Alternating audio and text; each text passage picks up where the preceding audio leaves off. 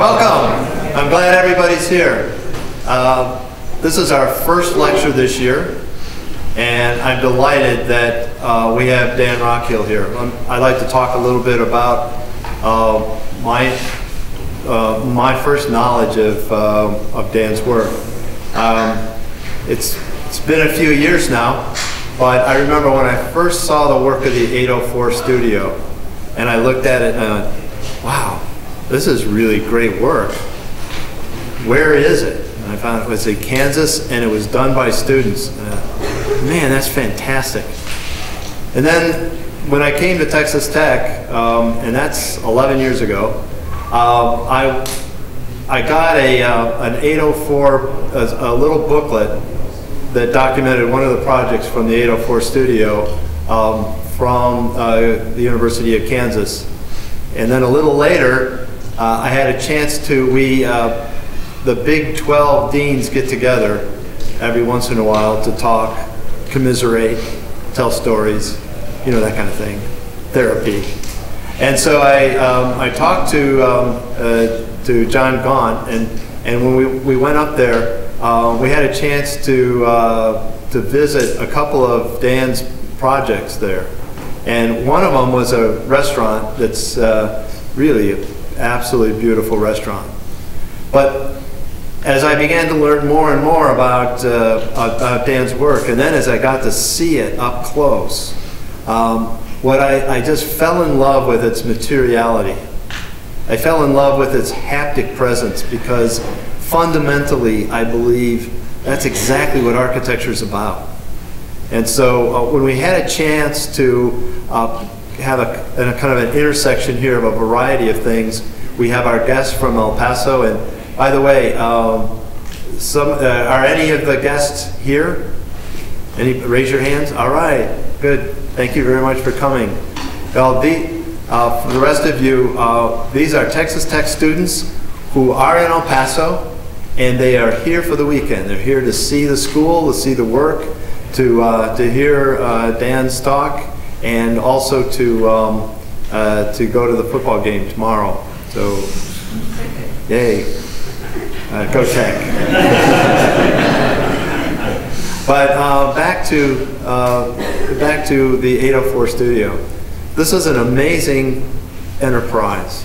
It's done by students, designed by students, built by students, erected by students, all within one semester. So um, I, I think you're going to really in, enjoy that from your point of view, but also it's, an, it's, a, it's a statement about how architecture locates us in the world by being utterly and completely tangible.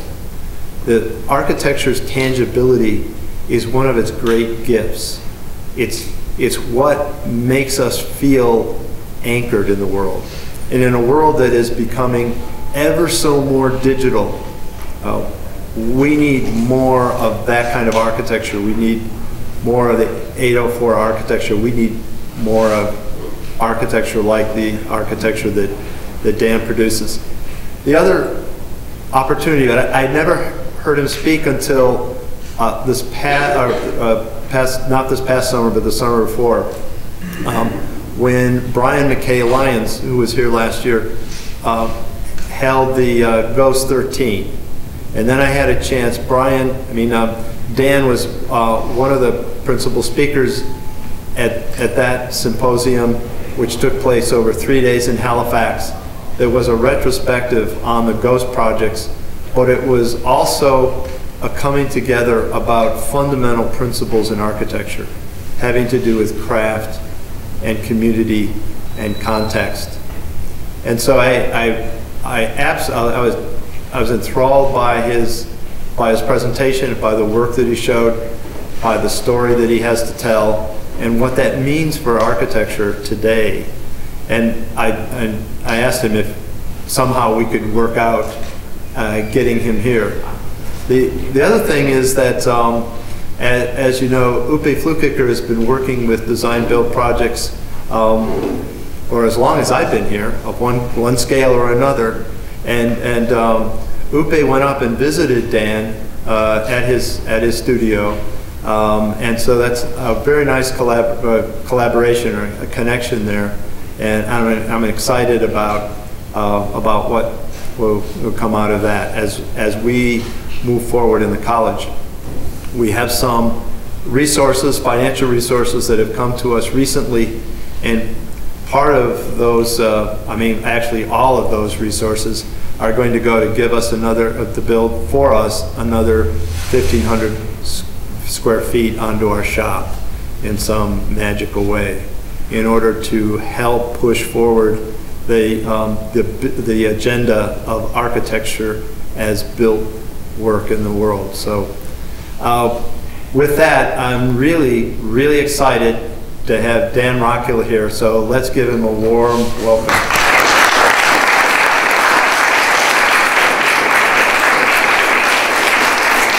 Thank you, uh, Andrew, and I'm delighted to be here. I'm going to go pretty quickly because in my experience, 5 o'clock on a Friday afternoon is sort of happy hour, so I know you're kind of pushing that towards 6, and I appreciate it.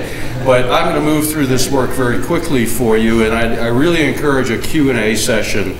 Uh, so go ahead and be take notes or you know get get yourselves ready. Uh, as was pointed out in the introduction, I really wear two hats. One is what I do with Rockhill and Associates, and the other is what I do with Studio 804. I'm the only one that runs between the two. Um, and so just as a quick uh, introduction, I thought I'd give you a few things that are Rockhill and Associates, and then when I change hats, you'll know when I go into Studio 804. So this is a wedding pavilion that we did um, on a field of brome grass out in the country. Um, the bride and groom will stand on a limestone slab that we elevated in the space. It's made out of hackberry and cottonwood trees that we felled along the river. Uh, the idea was that the bride would leave her ancestral home and come on access with the barnyard um, on a walkway that was temporarily laid out on top of the brome grass, go under this great lamella arch, which you'll see soon, and all the way to the end where the ceremony would take place on an early October uh, evening. So this is the structure there. And here it is when it's illuminated as all the chairs are brought back up under and the sort of the reception takes place here. The whole concept for this, in a way, is, is how we look at life and certainly marriage. And it's a sort of juxtaposition between the, the sort of very informal, rather primal aspect of the, the wedding chapel, if you will, and the highly ordered and organized um, reception hall. And it's how we negotiate between those two, you know, sort of what our instinct tells us, what we want to do versus what is expected of us, and how we navigate through life. And so there was a fairly simple connection that we could make for them. As the father of the bride, that's me, when my son-in-law asked to marry my daughter, I said, yeah, it'd be great. We got a little work to do first. Ian." So, uh, here, here we are building what my daughter refers to as her cathedral. Uh, so, uh, so here's the lamella before we uh, set the, the roof, we put a canvas roof over it and skin the sides, etc. But it's all temporary, and, uh, you know, we did this for, you know, very little money, as you might imagine. And uh, it's, I still have the roof uh, stored up on the back of a truck in the barn. We diced the slab up, it's only an inch and a half thick. We poured it right over the brome grass, and then diced that up into big tiles, and we've been finding a thousand and one uses for 3,000 square foot of concrete uh, since then, so. Most of the work that I do, though, um, in, at, at, this time as Rockhill and Associates was by and large driven by just the kind of residential language that uh, we wanted to explore. So this is a house out in the country, as you might be able to tell, called the Kansas Longhouse. Big, uh, long building, 150 foot long, uh, barely penetrating the north exposure, which is what you see here um, but broad south exposure, maximizing all of the passive solar attributes. And you'll see that's actually a thread that runs through the bulk of the work that we do. Sort of energy driven, cheap solutions, mostly passive solar. So here on the north side, a very tight aperture there, skinned in limestone, uh, early um, uh, sod roof on that as well. And then the interior uh, exposed concrete floors, no interior walls uh, engaged, the outside walls in any way, uh, directly for privacy. And so what we try to do is this is where you would sort of do your makeup or shave, whatever. Uh, That's the kind of the bathroom um, lavatory, but back behind that, enclosed in, would be the water closet. So. Uh, Another house all about energy.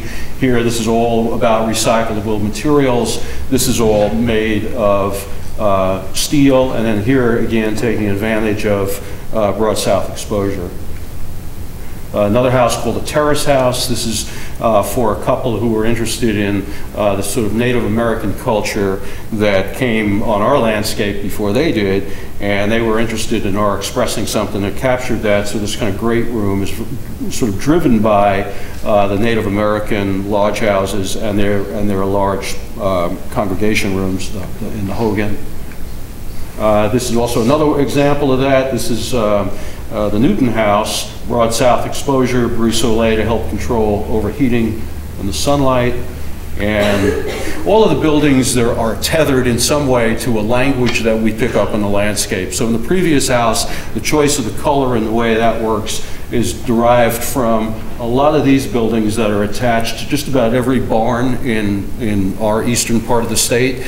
We're a beef cattle industry, but during the Depression, people couldn't afford to buy beef, but they had to have milk. So all of the farmers converted to milk uh, in an effort to just make ends meet. So there are these beautiful little structural clay tile buildings that sort of dot the landscape, and they're really quite attractive. And so you kind of pick up on some of that language a little bit. This actually happens to be my barn uh, where I live. So when we get a client who says, you know, I've been suffering from mold from a really, you know, I, it's, I sneeze a lot. I think it's some something in the basement, you know. And we're talking to her, and, and she has a site out in the country, and I say, well, you know, how about we elevate that form so that the, the building doesn't ever sit uh, directly on the ground? Not unlike what hay farmers are doing here, right? They put they take a marginalized piece of property. You can't quite get a tractor through here easily. Put some posts in and store hay in it, you know, that kind of thing. And so here is the platform house. Again, you can probably tell from the south, the glass here, this is the south face. A little hard to tell from the angle there, but there is a cover that shades that glass. Broad south exposure, elevated form, you know, just kind of locking it in directly with the client's interests. So. So this is Kansas. Uh, This little introduction works better when I'm in Finland than in Texas. Um, But broad, you know, expanse, and you uh, you got me on this one, for sure. You got the broad uh, landscape. Uh, Muscular buildings, you got some of those too. Wheat, Bibles, and these beautiful ad hoc assemblies. I, I love to drive around in the region, out in the, in the county, looking at buildings. Every place I go, I try to take the back roads.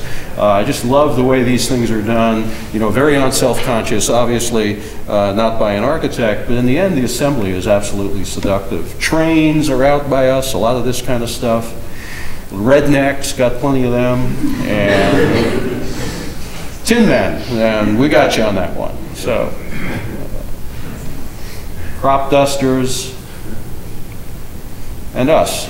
You might be able to tell from the process already that I've talked about that we uh, do a lot of building. In fact, at this time, uh, there wasn't anything that we designed that we didn't build, or anything that we built that we hadn't designed. And so we did that for many, many, many years, and I can share some of that with you. I live on a farm, and so that gives us an opportunity to explore a lot of materiality, ex, you know, work. And so here we're casting stone for, or concrete uh, for a, a bathroom surround at some point of a big shop. And we're able to fabricate just about anything in steel. Um, and here we're making these football trusses that we call them for a project that I shared with you. You didn't see the roof line on it, but uh, make, you know, use a lot of recycled materials. This is a stainless steel funnel that we kind of dig out of the scrapyard, and we convert it into a lavatory. Um, Make our own doors and windows. I don't need a steady diet of these things. We've done it two or three times. Uh, And so there isn't much we can do, can't do.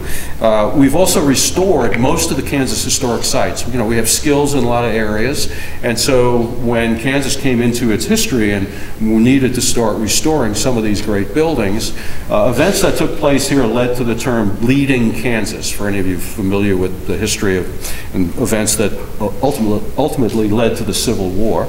Uh, And so we jacked this building up, hold it up in the air, and put a whole new foundation under it, and then set the building back down.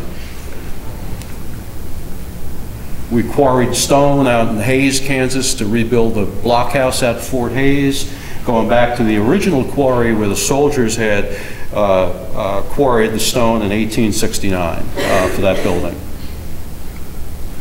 Most of the work now is um, outside of the immediate area. We still do a lot of that kind of work, and in fact, today, we're doing work, uh, restoration work, but when you get a call from a developer who says, God, that work you do is just great, you know, but you couldn't do, you know, so-and-so because he knows we're tied to the building, I'm quick to say, no, no, no, no, no. It's, it's the design that drives what I do. I love design. That, to me, is what it's all about. It so happens we can do the building and we're quite good at it, but it, my heart is in design. This is actually in Clovis, New Mexico, and I drove over there yesterday to see it. This is a, a former uh, hotel now converted, or in the process of being converted to housing. And this is, an, there will be eventually another 30 units uh, of detached uh, from the hotel that will ultimately lead to 60 units in downtown Clovis, all in an attempt to breathe life back into that poor little town, which is a, a, a cancer that has spread across the country, right? These little towns are just dying. And so we saw an opportunity there and had a developer that was really interested in using our language, and despite it being low-income housing, we still feel pretty good about the results. So, so that's Rockhill and Associates. Studio 804 is what I do with students, obviously, from the introduction you can tell, and the teaching. And uh, I do this for a lot of reasons, and you'll see some examples of it, but what I'm going to show you for the majority of the Studio 804 work is indeed what Andrew uh, shared with you, and that is we do it in one semester. And my students give up winter break. They start usually on the 3rd of January with me, and we have a finished building by the third weekend of May. Uh, which is pretty intense. Uh, we don't have the project laid out beforehand, or it would be rare if we did. Uh, so we have to identify the project, find the funding, do the design, go through the permitting, and do the build and be done for graduation. So it's pretty intense, as you might imagine. So I started doing a few other things, and I might be getting ahead of myself. And we do everything, incidentally. We don't sub anything. Uh, so, and, and that'll change a little bit later on as we get into a commercial code kind of compliance, but this is all residential code work, and so it's all pretty easy for us to do. So we make our own forms, do our own flat work, obviously our welding. I do a lot of this because the culture has changed. I, have taught my whole life, and I, the, the students I had a long time ago are very different than the ones that I have now. And a lot of it is because the, the shift in the way in which we are able to enable young people to experience what we call life experience, you know. These kids are denied the opportunity to build a tree house. Well, not really. I mean, if they wanted a tree house, they could get one of these, right? Uh, it's the, you know, industry-wide response to this kind of nonsense. But what you, what, what's changing is there's a sort of lack of realism to that, as we know, right? And and this is gone, you know. It's and I'm not talking about horses and horse-drawn, but there's a sort of realism. There's a smell and a texture and a fabric, and it's all real. And so what I see with young people today is that it's all very different. Nobody really knows how to do much of anything, uh, and I mean in terms of building. And I don't do this to make you builders by any means, but I think you're going to become better architects because you've had your hands in the concrete, quite frankly. And, and the students that I have, I mean, the learning curve is just literally straight up. They're absolutely amazed by the experience. And so I'm, I'm a big advocate, as you might be able to tell from doing, you know, offering these kinds of experiences. So this was our second house. I did a couple of little projects uh, and I realized, you can imagine I'm pretty tightly wound with the business and what I do with students I went to the city of Lawrence and I said, you know, we've got some eager builders and you have an affordable housing program. Why don't we get together? And they said, oh, yeah, all right. And so we did the first couple of houses for the city.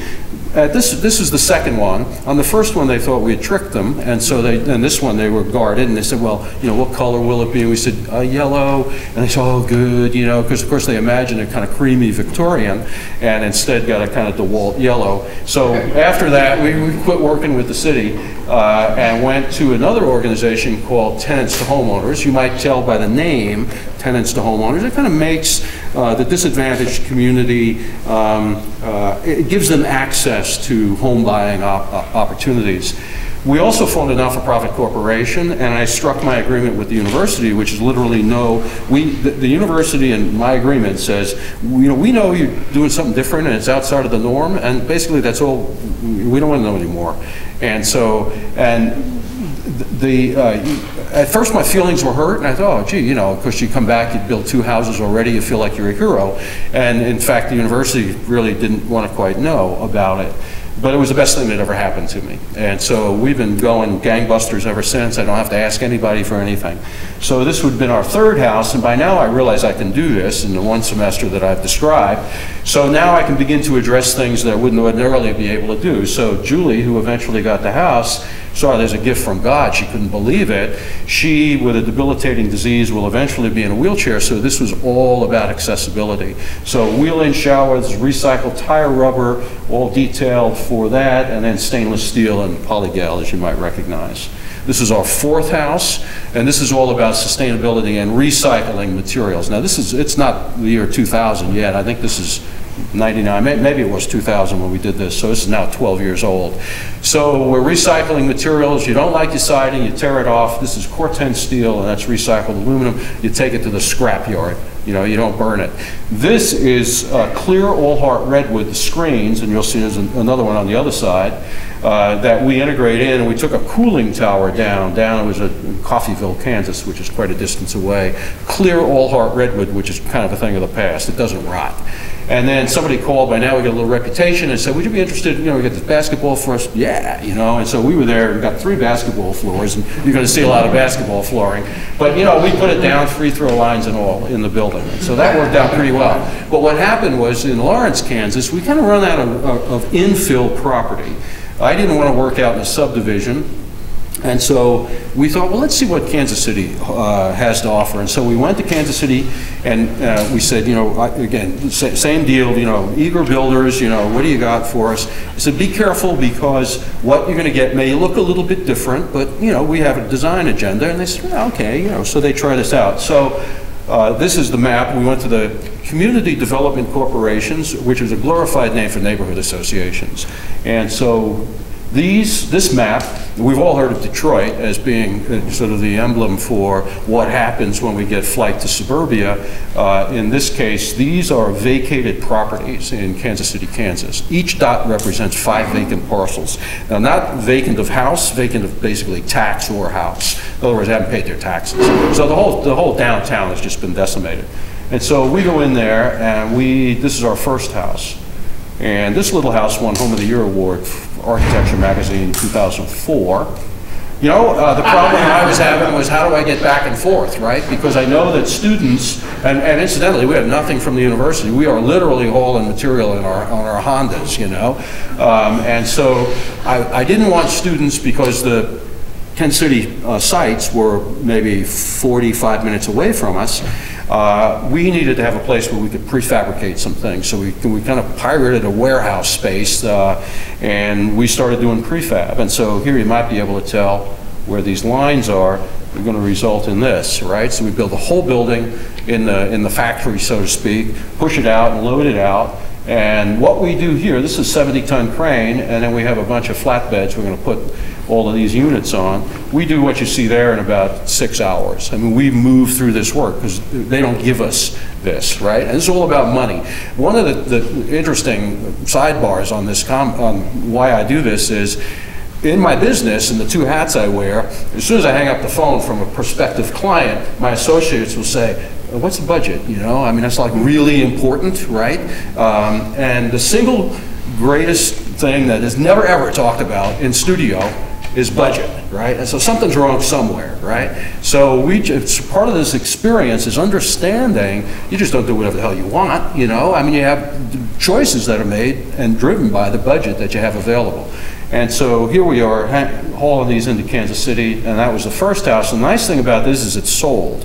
What I'm doing now is I'm working in the inner city area, and there's a lot of derelict housing. And what we're finding is that we're, we're able to bring these houses in and sell them right away. And that was uh, an indication uh, at least indication enough for that first one, we sold for 140,000, to go and try another one. We thought, well, maybe we got lucky on that one. So the next year, we did another one and, and brought it into a different neighborhood. And same idea, prefab, it's a little bit different, recycling materials. For those of you familiar with Steven Holl's HR, uh, the Bloch addition to uh, the Nelson, this is, this is glass, channel glass that was uh, rejected by the firm, wasn't the right color or something like that, but worked for us.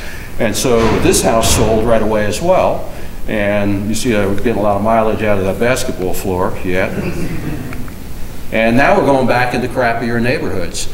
And we just keep working our way back in. And here's the third house that we did, and it too sold right away. The second one I just shared with you, it sold right away. And now it's going by word of mouth. And so this is the third house. And I walked across, when we brought this building in, I was standing on the front with an elderly Hispanic man, came around, kind of the godfather of the neighborhood, and he said, well, you know what, you know, what are you going to try to sell this house for? I didn't have the heart to tell him, I was pretty sure it was already sold. I said, well, about 155,000. And he said, are you out of your mind? And he gestured to houses up and down the street that hadn't sold at 80,000, they haven't been on the market for a year.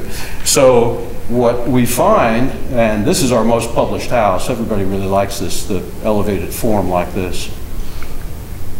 The interior, you know, Lester here, he can believe it. He lives across the alley. He mowed his lawn for the first time in 20 years when we had our open house, just because he was so happy to have anybody interested in their neighborhood. He couldn't believe it. And so, uh, so that was great. And Kenny and Leah, who bought the house, you know, the fact that they are the only English-speaking people in a, in a 20 square block area is okay. That's cool. They're happy with that, you know? Everybody wants, in this, in this young culture now, they don't want to live in suburbia, right? They've dismissed that. They want to live in the urban area. They don't want to buy a fixer-upper because it could be expensive and nobody wants to live in that kind of thing. But they, and they all read Dwell magazine, so they all want something that's kind of modern. And so we've tapped into that and have had a great success. So much so that we have builders doing knockoffs. These aren't our projects now. These are done by builders that our clients who eventually bought our houses, they walk by their goofy houses with the sort of faux craftsman nonsense and the,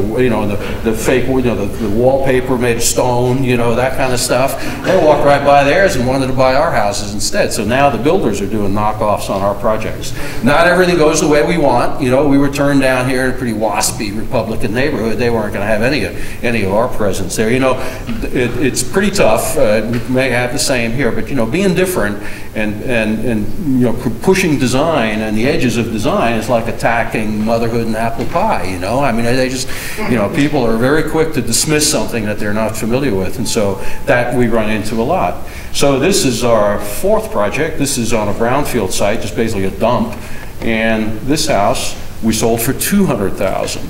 And so by now, what I'm finding is that I've got to really work the appraised value. I run this like a business. I don't get any seed money. I have nothing to do with the university. So this is a business. And I've got to try to get more for these houses because we're getting burned on the appraisals. So what we did was we needed to get a three-bedroom house. But we also know that Kenny and Leah, right, the young urban hipsters, they don't want to buy a house that's like three-bedroom. That's kind of regular. So what we do is these closets move. And so when I take the urban hipsters around, it's all open with a core of space. But when I take the appraiser around, we move the, the closets so that I get three bedrooms. And I think it's this one. So one bedroom, two bedrooms, three bedrooms, and the appraiser, yeah, you know, that's great. And so the appraisal is as high as we want. And when the urban hipsters come around, we move everything around so they get this kind of sense of loft living, you know. And so it's great. It worked out very well. So There was a tornado that hit Greensburg, Kansas, and just about wiped it out. Uh, 11 people were killed. This was in 2007. And they talked about us going down there and maybe doing a project. It's about five hours away from us. We're in the eastern part of the state. And so we said, yeah, okay, well, we'll have a look at it. And so we went down. This is the Google map. This is before the tornado. This is after the tornado. Amazing that so few people were killed. This is me in the helicopter. Dodge City is 35 miles an hour, uh, 35 miles to the west, and to my left is uh, Pratt, Kansas. It's 30 miles. There's nothing in between. Tornado came right up through the center of town. So we went down and made a present, presentation. They had some temporary quarters there, and you know these guys, they don't know what to make of us. You know, I mean, they, they had already decided that anything that the city sponsors is going to be done to a LEED platinum standard.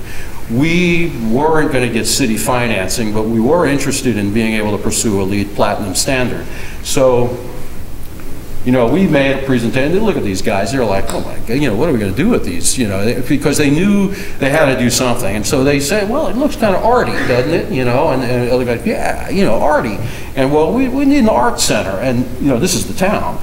And, and I'm like, we need an art center. It's like, I like art, you know, but, um, about a firehouse, you know, or a community center? They're so freaked out by the way the buildings look, they didn't, you know, they didn't quite know how to describe it. So we said, all right, you know, but I, I'll, I always describe this as a community center with art on the walls, as you will see.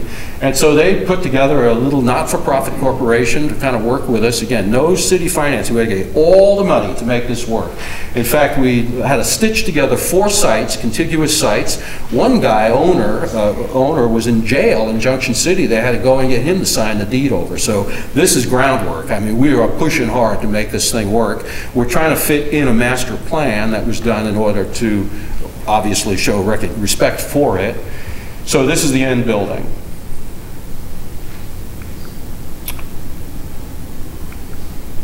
Now, before we then, and part of the LEED interest that we have, and this is our first LEED, we are working on our sixth LEED platinum building. Uh, we have four that are, no, we have three that are finalized, two that are pending, and we're working on our sixth. So, um, we went to Sunflower Ammunition, largest ammunition producer in the world, 10,000 acre site, now going back into the public realm, no longer owned by the federal government. And we said, you know, you've got some buildings in there, we'd like to recycle this material. This is, all- we- we're working through attorneys in, in New Orleans right now to try to get this material. These are magazine buildings, that's where they kept the ammunition, not bullets, but these are loads that are packed into howitzers on Navy ships, right? This is big production Army stuff, uh, Navy stuff. And so the buildings, you can bet, they kept the roof tight. And so all the wood is first, first growth lumber, most of it was, was brought out in the 50s and 60s. Beautiful material, Douglas fir and pine. So we went in, took the buildings down, and basically brought it back to our warehouse. We're now an abandoned warehouse in farmland industries, no heat, no water, no toilets, nothing. Uh, But that's our location, and here we are doing prefab on that project that will take down to Greensburg. So same drill that I showed you earlier, and we load out uh, St. Patrick's Day, um, 2008, and head down to uh, Greensburg. Pouring rain, unload that night. That's eight and a half hours by truck, because you can't go the way you would drive, because you got to take the routes. It's a disaster site, and you're aware of it as soon as you get there into town. You know, this is the hospital, you know, it's like right out of MASH. And, uh, and, and we're the only ones there in the middle of town. That that just started rebuilding a couple of houses, but it was really important for those people to see these young students out there working, you know, till midnight and showing up, meeting me at 6:30 in the morning. Uh, This was filmed by the Discovery uh, Channel for a a program called Greensburg, and you may, have- you may think that was fun, but that, I did not get along with those people at all. They wanted to build TV drama, so anything they could do to get students to fight, or me to fight with people, it's like... So anyway, so 200 mile an hour wind torqued all the trees, and so all the trees had to be taken out, and I'll take these out in no time. Here we are booming it in, just like you saw before. Uh, We, we set them down, get the slings out, and then push them back into position. And then here's our project, as you can tell. They're putting the water tower back up now. Uh, That's the old, old one, that- and that's the debris. I mean, the town was just obliterated. You know, it's a minefield, right, because you've got tornado shelters, You've got septic systems, you've got a lot of stuff that's buried out there. This guy thought he knew where everything was, and this is on our job site. So, uh, you go down there, for those of you familiar with LEED, and you say fly ash, and, and they're like, what's that, you know? Uh, Fly ash is a component, it's a byproduct of energy production, it's a, and we use it now in concrete, basically, and so it's a 30% mix that we use. And this is a lightweight uh, system. We've got to get thermal mass in this building so we can take advantage of that south exposure, and it absorbs that heat at night. Very important concept. So this is the interior of the gallery space. This is what uh, will regulate the overheating with by the shading on that, which is calculated right? And so skinned in glass, I can explain that in a moment. And then in this example, airplane hangar. So basically, we weld all this up ourselves, bring it down there, use there. uh, it's basically a hydraulic system with a hydraulic pump on it, so we can raise this thing up on the outside. So here you can see the way this works like that right? And the reason to do that, and uh, there was a lot of objection because if you look at artists, what happens is, you know, they don't want to have the artwork get contaminated by sunlight. And so again, going back to the idea of this being a, a, very important public building, it was, it was an important gesture to make. Not unlike West Texas, the elevation change between Greensburg, Kansas and Wichita, which is you know two hours away, is about a half an inch. And so what we wanted to do was to break that. I didn't want to set the building right on the ground, so we set it on a plinth, and you'll see this here in a second. So we built another wall directly around our building. And what that does is it gives us this, which you can make out, and then that's what happens. People begin to congregate, they use the building, they screen movies on the outside in the summertime, and they have a lot of outdoor events when they can. And so that worked out really well. The, the sustainable features here, three Kestrel, made in South Africa, wind turbines, one looked good. The engineers amongst you would wonder, you know, why? You know, three. One looked just kind of big and lonely. Two looked like a couple. Three looked great. Uh, so we ended up with, uh, let's see. All right, so here we are putting these up, anchoring those.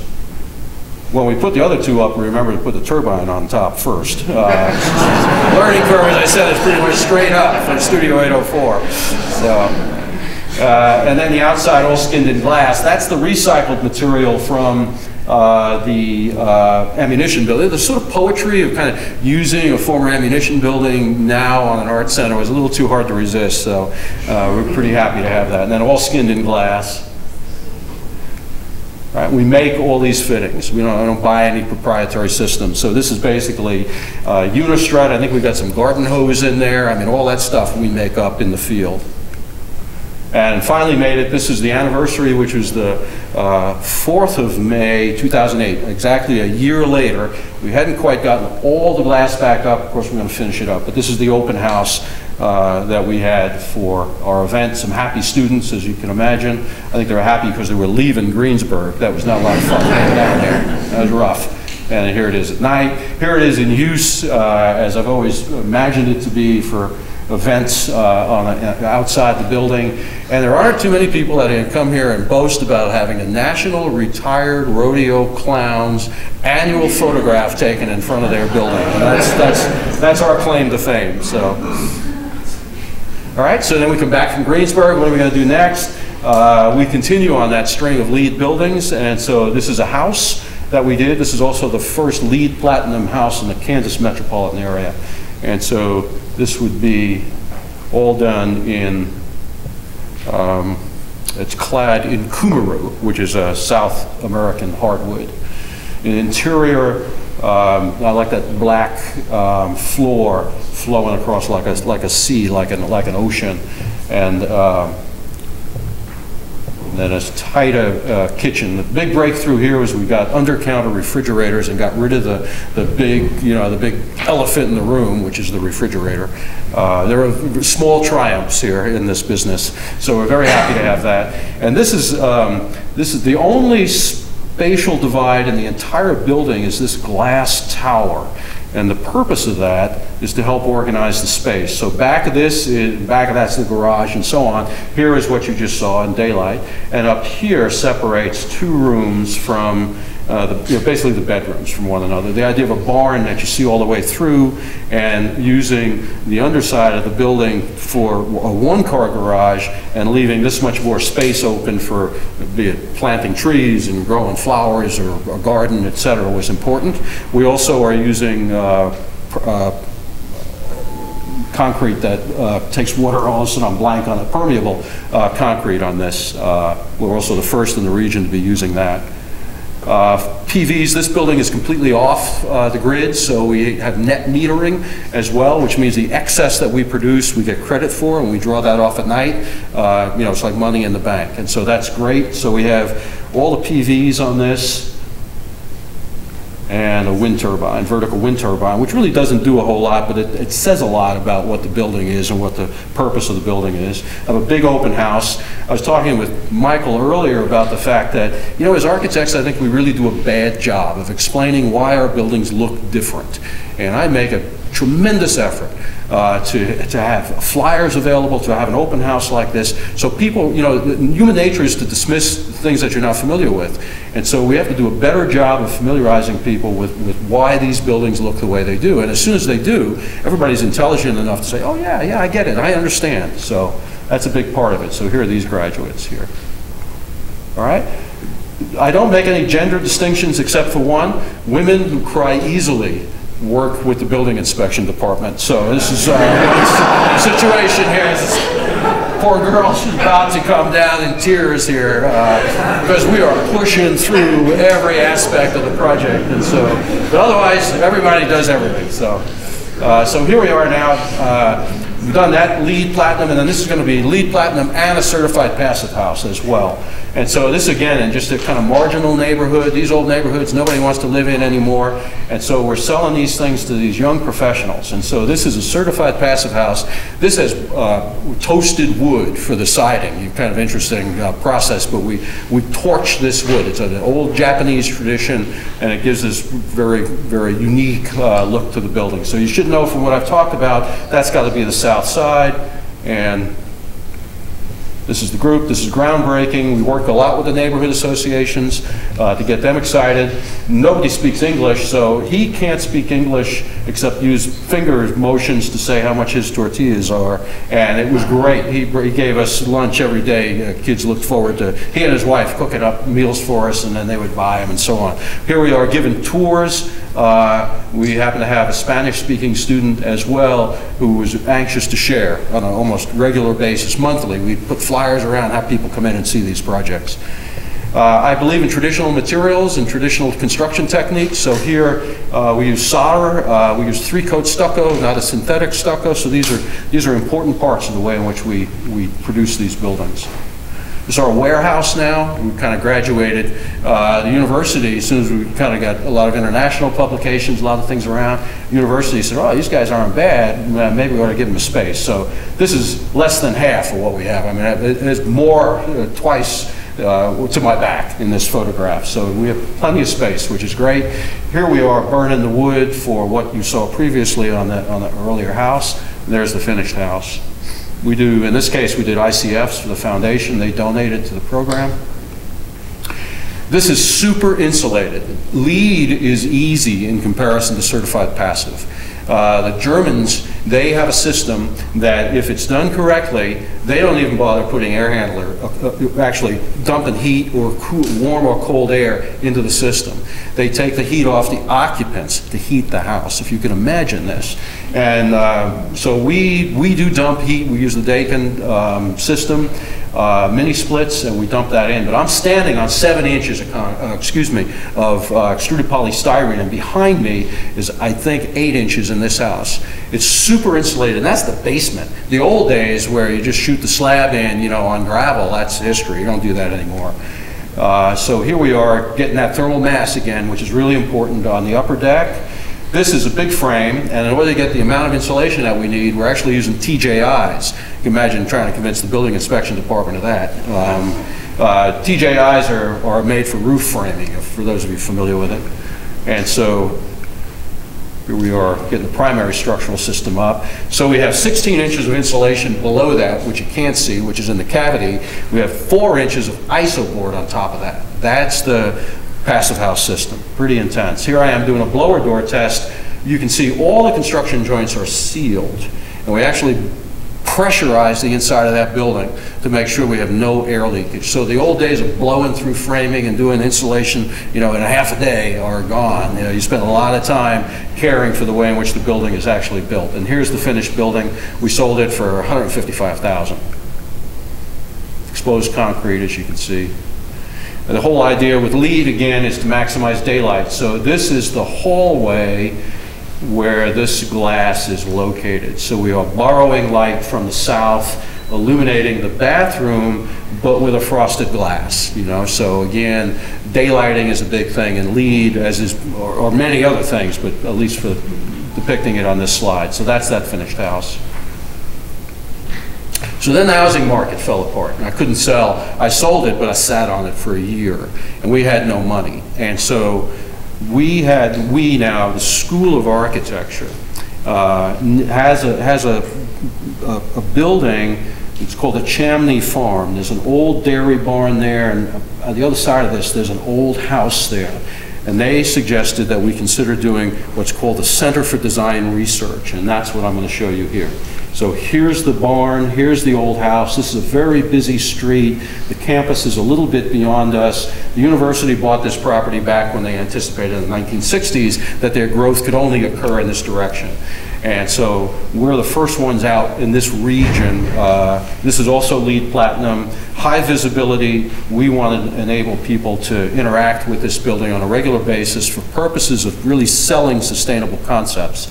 So all the stuff that I've shared with you so far, you'll see here again. So we got the wind turbine, we got the photovoltaics, we got the the vegetation on the roof. This is made out of limestone tailings. So if you will, when you uh, cut stone, right, you take the slabs, the ledge out of the ground, you get it up on a truck, you haul it into the fabrication plant, usually you turn it in and you run it through the bread slicer, right, and you end up with four-inch thick slabs, if you can imagine. You lay those down and you cut the pattern out that you have for your building.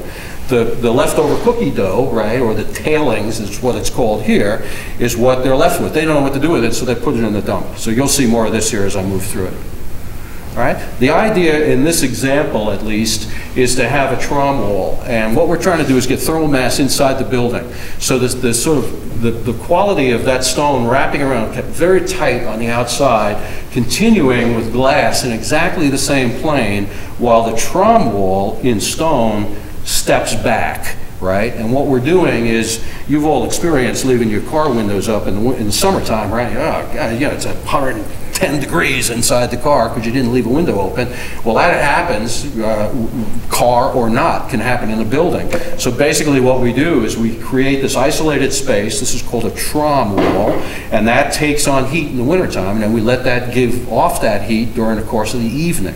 Very, very simple yet effective way uh, to heat a space. So here we are doing our foundation work, laying and slab. This is also, this is the first certified passive commercial building in North America as well. And so here we are laying down the slab. You can see that heavy 10 mil material is what we're going to wrap the entire building in, uh, part of this- the passive process. Here we are again, thick walls, standing those walls up, framing, uh, white TP, or uh, uh, EPDM uh, for the roof, so it reflects heat, and then plants on top of the roof in addition to the photovoltaics. Setting the footing for the wind turbine. We made our own curtain wall. I've always found curtain walls to be um, really bulky. They're made for a uniform application, which is probably a two-story span, two-by-four extruded aluminum or two-by-four extruded aluminum. They're all pretty ugly. And so we seized upon the possibility of doing this, and here we are in the warehouse. So this is basically heavy bar stock that we use, flat bar stock, half inch, and then here we are in the whole assembly uh, with it together. Uh, We got to, we got to put an epoxy finish on that, so we sandblast that first, and then do multiple layers of epoxy. And here we are setting that curtain wall in place. You notice that that building didn't, when I showed you the introduction part of it, it didn't have any louvers. You have to be very careful with that south exposure to not leave yourself vulnerable. It sounds great in the winter, right? Sunlight shining in. In the summer, people would vaporize behind that glass if you're not careful, right? So you got to shade the windows. And we've used louvers on everything I've shown you except for this. This is electrochromic glass. And what it does is it has a little electric current that runs through it. So in the summertime, when you don't want the room to overheat, and this incidentally is controlled on a motherboard in Minneapolis. They take the GPS coordinates and they know precisely where the building is and when sunrise and sunset is. And assuming there are no other obstructions, they can open and close those windows, meaning the opacity of those windows, by that control method. And so here we are setting the windows there. Uh, You know, doing a, um, an elevated slab like this is no small task with students that have never had their hands in concrete. The, the old trick, it's very simple. This is the oldest trick in the book. Turn what you think is your greatest liability into your greatest asset. Handicapped accessibility to this building was, was a nightmare. We couldn't figure out how we're going to make that work. And it's like, oh, of course, this very graceful ramp begins to lead you up into the building. So there's the finished windows.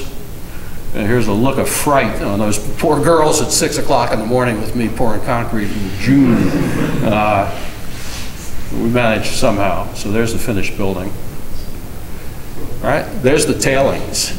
Right, we hauled three semi-loads. Basically, we dressed 100 tons of stone.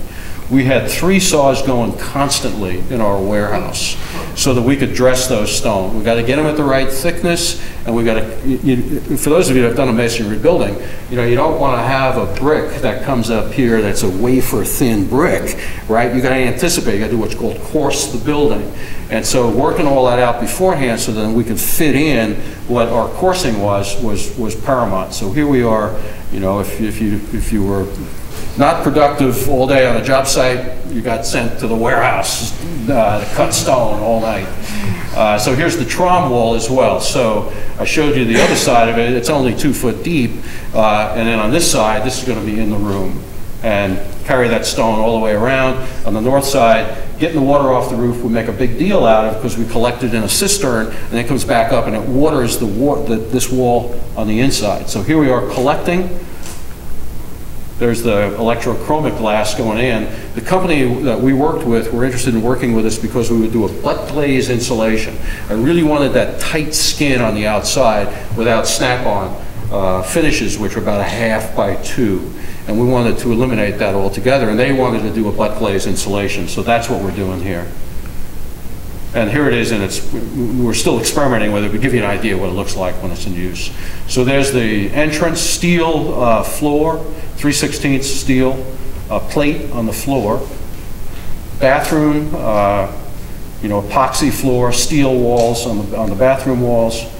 Uh, Part of the uh, educational aspect of this, so that people could see it, is the way you would be able to show in real time the energy that's being consumed in the building. So this is literally the bar graph that shows what the wind turbine is producing. So all of those things are important, and here's part of the sort of demonstration aspect of it. This is a green wall, that's on, we call the living wall on the inside, it's 34 foot long, 12 foot tall, 10,000 ferns in the, in the face of it, watered by that cistern that I've described to you. And there's the finish. So steel floor, uh, that um, uh, credenza that you saw in in the beginning, and then this cabinetry is uh, Valcucine, is an Italian line, and they were willing to work with us a little bit as well, so. Uh, We have the first electric car charging station in the region, and that was part of this project. So there's the finish. And I'm going to show you one more, if you can hang in there. I'm doing pretty good. Um, And that's the last one that we just finished. So we had a little college nearby come to us and say, hey, we like what you've done here, and we're all about sustainability too. We'll take one of these over on our campus. So we said, yeah, that'd be good. So uh, we didn't do exactly the same thing, as you can imagine. There's the group. This is uh, called Galileo's Pavilion, and we just finished this three months ago, or less, two months ago. And just as a way of introduction, the, the college wanted us to give them a building that they could demonstrate sustainability with, but they didn't have a site. We put around the peri- perimeter somewhere. Said no, and they had this sculpture that was there, and it was out, uh, again, called uh, Galileo's Garden, and it was done by an artist in the late 70s, and we said, well, you know, we can, we can use that. And the whole idea of Galileo and all this, which you'll see momentarily, was the, the artist was trying to capture a lot of Galileo's understanding of the universe at that time, which basically had him excommunicated from the church because of it. But he, he figured out that the sun actually moves in the sky on an angle that's predictable. And so this artist made a beautiful sculpture about it, and it's like, hey, we, we're all about the sun too, you know, let's get along here and figure it out. So they said, okay, we, we can do this. So we took the sculpture out and then put it back in, and you'll see this momentarily. So here is, there are four columns, and there's a disc that's suspended. That shadow is from a disc up overhead, and this line is on, at solar noon on the summer solstice, and this line, which you can't quite see all the way up, is on the winter solstice, solar noon. And you can calculate with some exactitude, as you can imagine, so June, July, August, September, October, November, December, and then back down the line. And it's really quite beautiful, and you suddenly realize, of course, you know, it's fixed. You know, that stuff moves around, it's hopefully going to stay the same. And so we were excited to be able to integrate it into the, into the building solution. So here you see the sculpture, we took it out to do the construction, and then we put it back. So two classrooms, one here, one over here, uh, forming a courtyard, and then this lounge space in the middle um, as well. And this is the finished product. So this face uh, is, as you should know, south, right? It's obviously the glass face of it. And this face is north, and that's uh, the tight aperture. This is all used chalkboard slate that we gathered from all around the Midwest. Uh, we took loads from Cleveland, Minneapolis, Des Moines, uh, and basically from demolition contractors who were knocking in these old grade schools, right? Nobody uses this stuff anymore. And so we gathered up all of this used chalkboard material, it's quarter inch thick, uh, and then we figured out a detail where we could anchor it to the buildings after doing considerable cutting. Uh, so yeah, I think I think you'll see this here momentarily. So anyway, it wraps that north side, and then the south side is all this glass, which also came uh, from another project. So here we are doing the formwork, framing it, and then setting the glass. The big glass came from a defunct Moshi Softy project in downtown Kansas City uh, that went south. The contractor had already bought all the glass, and we made a, a connection to obtain these large sheets of glass, which were 11 foot 5 in height and about 5 foot 6 in width. And that's more or less how we laid out the building, as you can see it here. That dedicated the way in which we would set this glass, and then the rest, you know, went from there. So in this case, you know, they wanted inspired classrooms, so we brought in as much natural light as we could, knowing that we'd be able to get these fixed louvers on the outside, and we did that with frosted glass. So here we are doing process, processing semi-loads of slate that's brought in. That's our setup where we cut. This is when we put it up, and this is when we put a finish on it. So here we are doing green walls. Every one of the classrooms and the lounge has a green wall as well in it. And it's, it's just a beautiful quality. The quality of the air is noticeable, and the, the kind of textures should be apparent. So it's really quite nice. Uh, Cistern, 1,700 gallon cistern, we gather all the water off the roof, uh, hold it in a tank, and then we pull that in to water those green walls. And now we're able to use it on flush valve toilets as well. We're waiting for health departments to begin to check up, you know, get caught up with us. You know, I tell my students, if we don't, who does? You know, I, I don't think the, the argument is still going on that something's going on. The polar ice caps are melting you know, roughly speaking, 50% of what's going on out there is contributed by buildings, right? Something's happening in the atmosphere. So what if we actually made an effort to demonstrate to the public ways that we can begin to address this problem that by and large we've caused. So we've got to be smart about our buildings. And so all this stuff on the interior of the building that I'm sharing with you here is available for them to look at. So there are big displays that talk about the, the uh, MEPs and all the systems. We made our own glass louver system for shading out of extruded aluminum. And here's the finished louvers. So these are, um, uh, you know, detached from the face, but calculated shading so that we don't overheat. And then we made our own light fixtures here. It's all LEDs, that's all anybody uses today, uh, environment-wise. And, and you- we can get a tube that we put those in, it's a fiber, basically. And you, and roughly speaking, one LED will charge about 30 of these fibers. And we took steel plate, and we drilled a pattern in the steel plate, pushed the fiber through, the LED is hidden up above it, and that's what you get in the end. You get that beautiful sensation of that lighting floating like that, and at night, it's really powerful. So here you can see what that looks like. And there's the night shot of the building. I'm done. I made it, all the way through. So, thank you.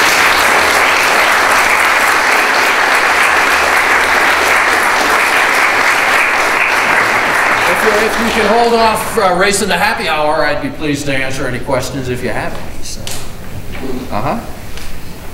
A lot of your projects seem to reuse a lot of materials. You go out and you find materials from projects that failed or didn't get off the ground. mhm. and they Yep, yep, yep. like for Yep. project. Right. How much lead time does that take? Because it looks like you're starting a project Yeah, yeah, and you're moving yeah. forward pretty quickly. Yeah. Do you buy the materials ahead of time as you find them and then use them? or- Sometimes it's rare, usually we sort of know where these things are, and, um, but we gotta move pretty quickly on them. Uh, So the slate, we've uh, had a pretty good idea that we could work out the details on it, Um, and just the whole idea, you know, a- you know, a college campus with chalkboard, you know, and learning, and people that stood at that board for so many years, again, it's sort of poetry, is pretty exciting, and so we threw, a- you know, again, you know, I, actually, I don't even make a phone call. That's one of my rules. Students do everything.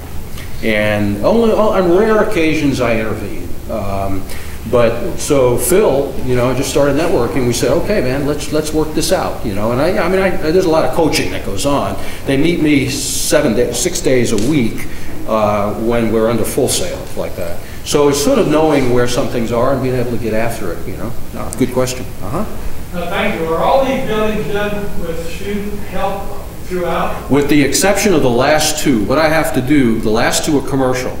So what I have to do in order to get permitting lined up is we, first of all, we have to have consultants on this. This says, the, the uh, heating and air conditioning system, as an example, is like a Ferrari in this thing. And this is very sophisticated. We use two energy recovery ventilators per building. There's really three buildings here, just as a for instance, and it's all pretty high-tech stuff. We do all the design work, we do all the layout, we figure everything out. We make up all the ductwork, and that these are people that I've worked with for years that will become the subcontractor.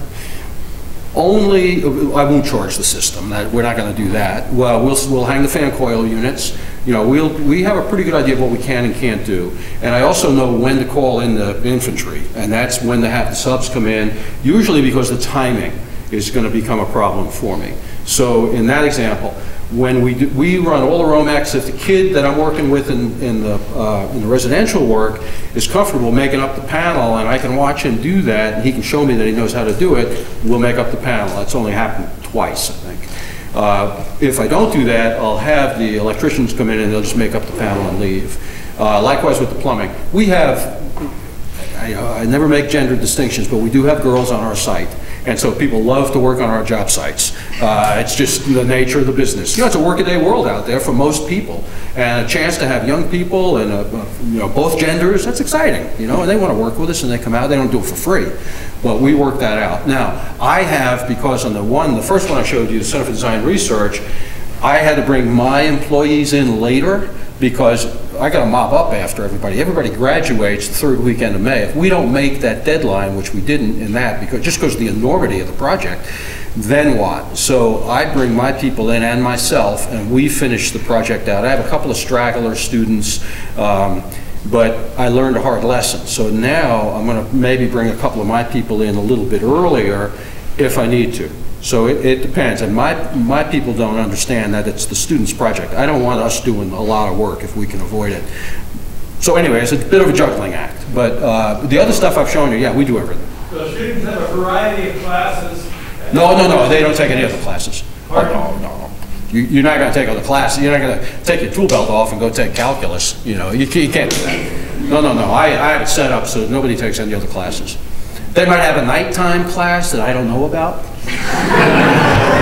But otherwise, no, no, you can't, you can't build these kind of buildings in that time frame. Uh-huh, yeah. How many credit hours do they get for a semester for? Uh, You get six for studio, three for a practicum, so you're guaranteed nine. If you need another three, you can take a special problems with me if you'd like to. And I hardly make it, you know, I don't say, oh, you guys go home and the three, you know, the other, you know, come with me. It's, I, I could care less, I don't care. You have Yeah. estimated what the average amount of hours that a student would put in in a five-month period on a project like this would be? With the exception of about six hours of sleep every night, it's, fu- it's full-time. Oh, yeah, yeah. I mean, it's, they, I- they literally meet me at 6:30 in the morning, and they better be ready to work, because they, it takes about a week or two to figure out that you're not gonna do it on two or three hours of sleep. And so, once we get that established, and we, and we make it clear that you're gonna come and you're gonna work, just showing up, you know, you think that's a lot, you know, and your mother's not gonna do this for you. Nobody's in the background here taking care of it. You're gonna build a building. And so there's a little, you know, little meeting of the minds. Once they get into that, then we, you know, about productivity and, you know, being sure that you've accomplished something. And so it does take a lot of time. They can't do anything else. And that's one of the criticisms that I get from students, you know, oh, well, I kind of wanted to go to all the basketball games, you know, and I don't know, I'd be too tired, you know, it's like, get out of here, you know? You have an opportunity of a lifetime, you know, and, you know, it just seems to me, you know, that sort of passion for, you know, at least what I'm doing, but it applies to a lot of other things, it's sort of vacant, you know? It's just like, you should go to class, you know? It's just, it's stupid, you know? The way we teach is absurd, you know? Sorry, go ahead. Um, As far as the design process goes, um, how long do you guys spend on, on that? Yeah. Uh, we usually spend, uh, we usually spend about three to four weeks on design. And, and I'm, I'm not going to do anything that I have to apologize for. And so it becomes a bit of a shell game. Uh, They, I might see something that I really like, but I will never, ever let anyone know. We are all doing it together. And in no way will I ever identify any person who might be called the architect, right?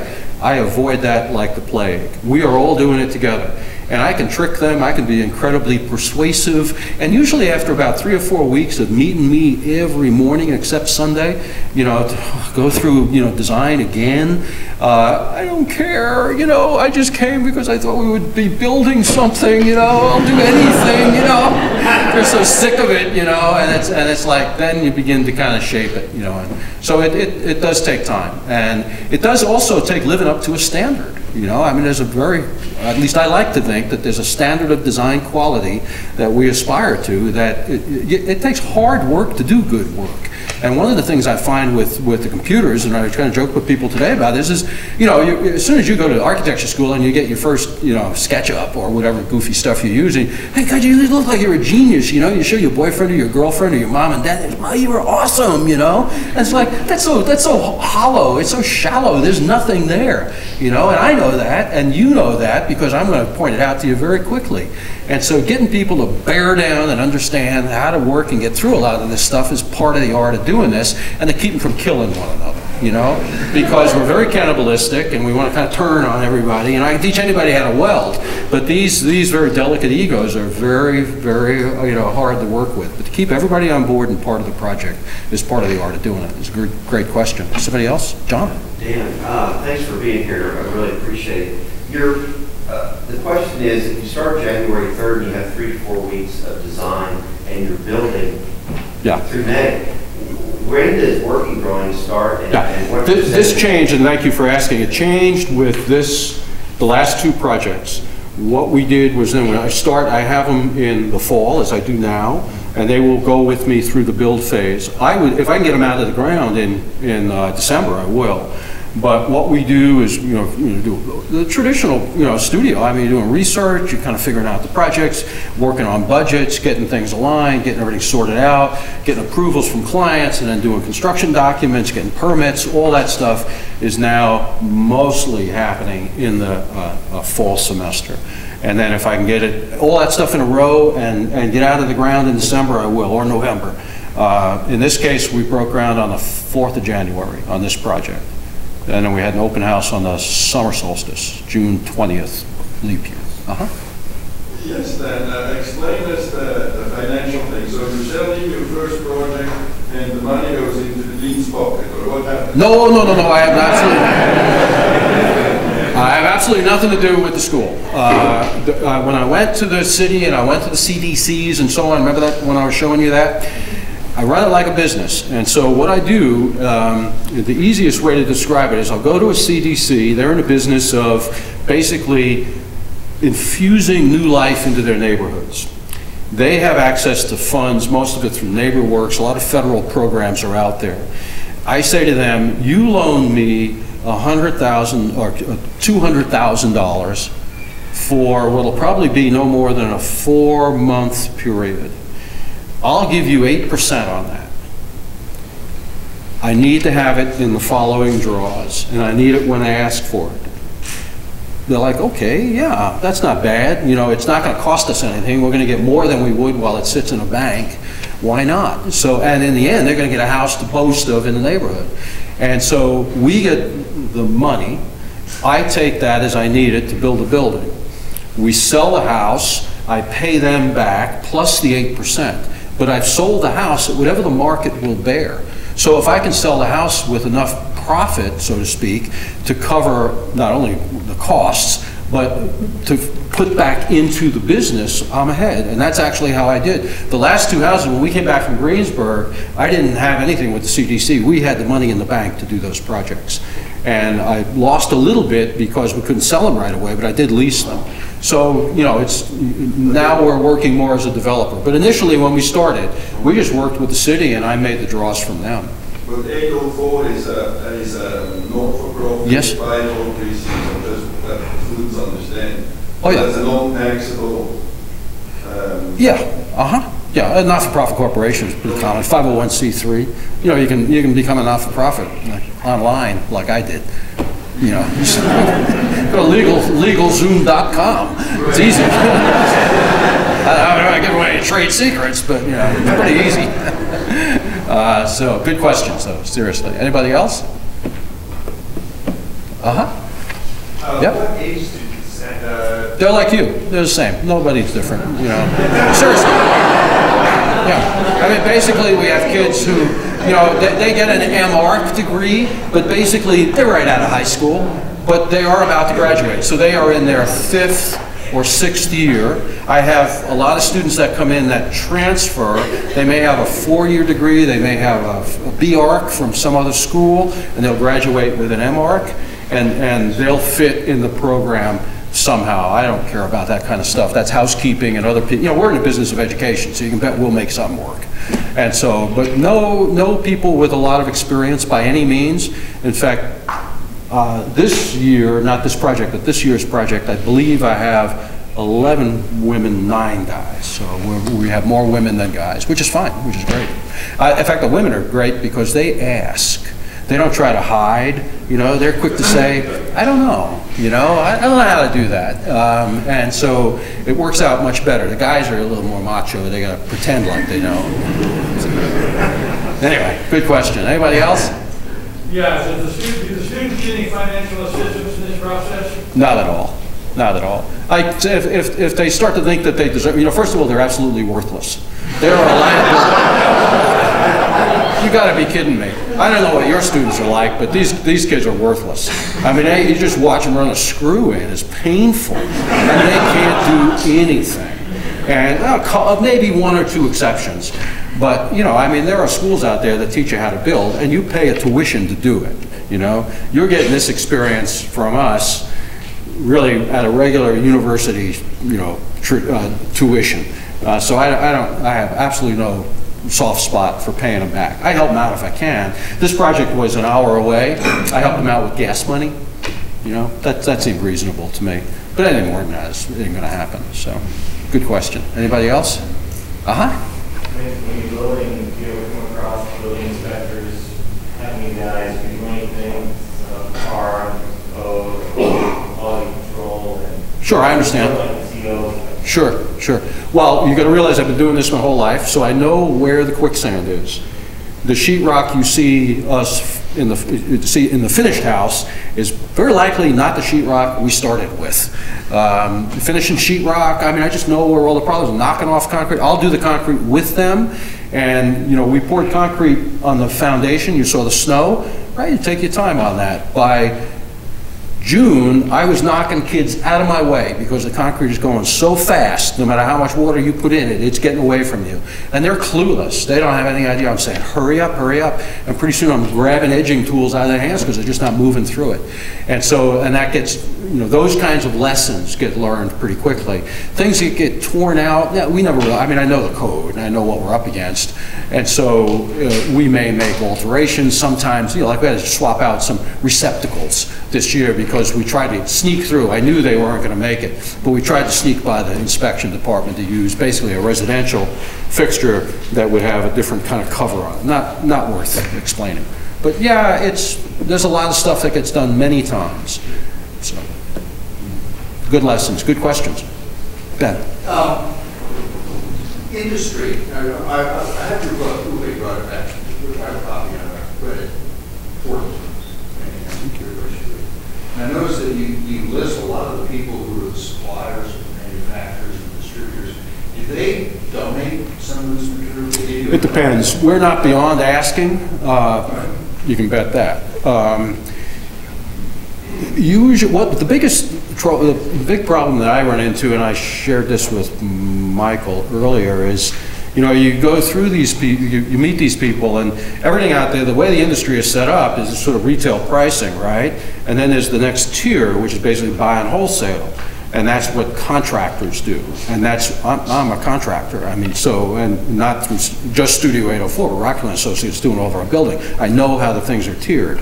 And so when we go to um, Kohler faucets as students, this is before they came to know us, um, they, they would say, well, you know, we can work with you, and they make a big deal out of uh, what a great job, they, you know, what a hell of a deal we're gonna get, and the student's happy when they hang up. And the pricing is really what I buy it at, you know, they're not doing them a big favor. And so I try to get well below that. I can always go in and buy stuff, and I very often do on my accounts, just because it's easier and it's faster, and I know I get wholesale. But we work very hard to get as large a donation as we can possibly get from just about anything.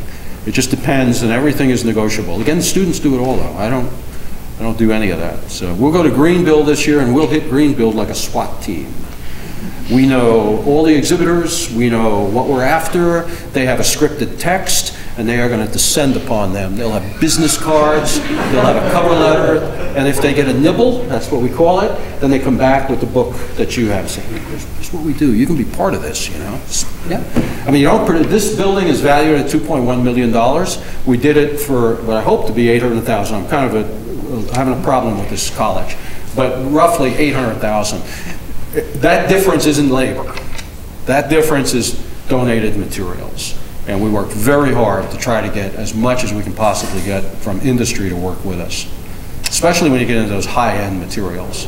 So it's a good question. Somebody else? Yeah? Uh, time-wise, how do they compare? Compare to building that was built with skill labor versus, I'm I'm sorry, I'm having a hard time hearing you. uh, my question was time-wise, how does a building like this built by students compare with a building that's built with skill labor? Uh, Well, I actually think it's better, quite frankly. Um, I've been around a lot of industry, um, and I saw some skilled men building a building of ours in Clovis, New Mexico, and there's no comparison. I mean, quite honestly, we, we do, I don't tolerate anything that is not perfect. I am very big on craftsmanship.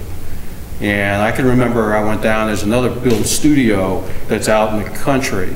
uh, not ours. And I went down there, and the kid was folding, flashing over his knee, you know, and I, and I said, man, yeah, there's a tool you can use for that, because they're making a curve flashing, you know, and he looked at me and said, hey, who are you? You know, we're the, we're the X studio. Said, man, you got a lot to learn about craftsmanship. And so I am very prideful of the quality of what we do. And it, I, as far as I'm concerned, it exceeds. When we did the Center for Design Research and we had the DCM, Division of Construction Management, come in for the final walkthrough, those people were, they were like, we don't get this kind of quality when we go out in the industry. So take that.